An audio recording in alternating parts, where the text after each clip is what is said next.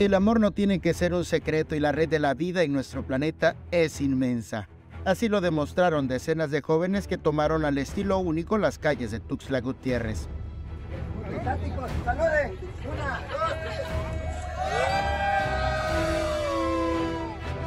Fue la tarde del pasado domingo 30 de abril para celebrar el Día de la Niñez.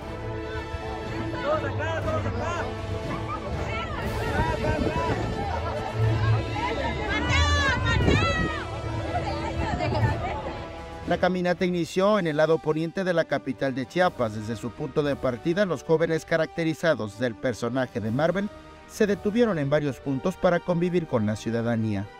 El evento al que también acudieron personas disfrazadas de otros personajes concluyó en el Parque Jardín de la Marimba. Ellos solo organizaron todo esto, mano.